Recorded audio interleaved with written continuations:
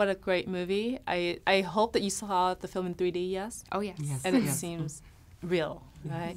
Um, as I as I was watching this film last night, I was thinking, oh man, this is a terrible way to die because of, you know, the heat.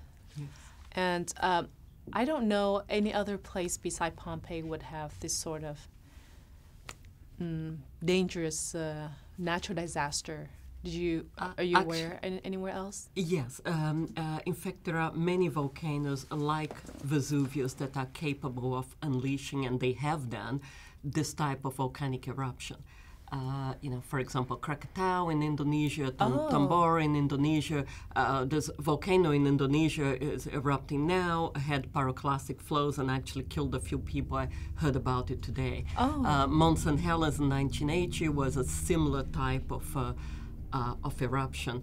Uh, what made the 79 AD uh, eruption, I think, so important uh, was, first of all, it preserved the city of Pompeii uh, for archaeologists later on, but also because of these uh, plaster casts of the barges, uh, so that that really give us this idea of how they died, and they died of heat shock and very very nasty death.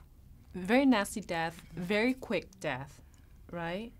Would you say quick or Uh, not too quick when it comes to? Uh, it, they they died of heat shock, and uh, uh, that I, I cannot tell you in terms of how many seconds. right, right. But it, it's not instant. Right. Uh, so it, it would have been very painful. So now here in the states, uh, are there any states around the country that we should be aware of?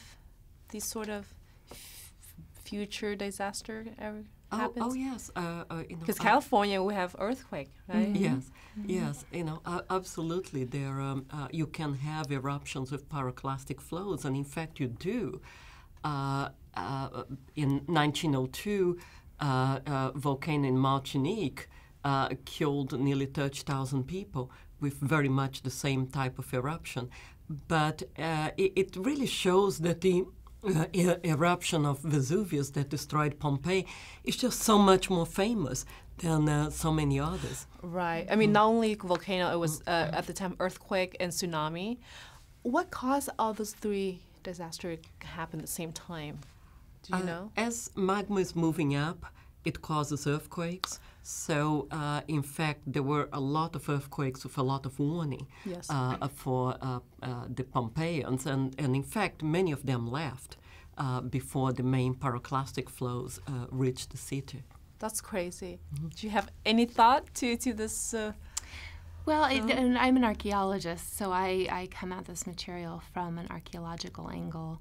Um, and what we really, you know, in terms of excavating this city, trying to reconstruct what life was like Yes. for these people, what their final days Yes. were like, that the sequence of events.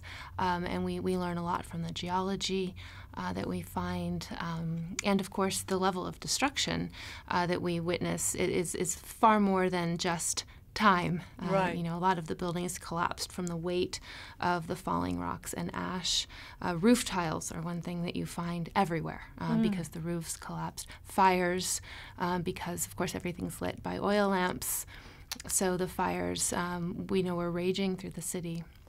Did you find any uh, couples that were still holding on to each other after? Um, that that um, perhaps was was maybe more for dramatic effect.